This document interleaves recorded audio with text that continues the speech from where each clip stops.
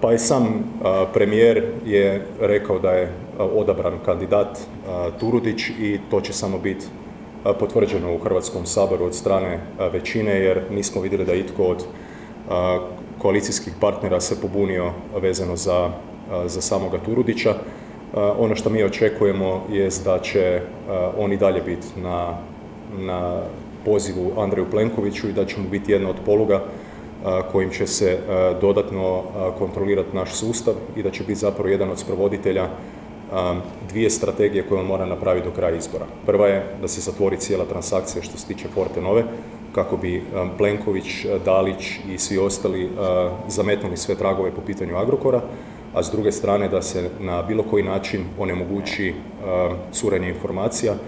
kojim bi se kompromitirao ime Andreja Plenkovića. Prema tome, to će biti u nastavku i tako dalje, a zašto je to bitno? Iz razloga što je to još jedna od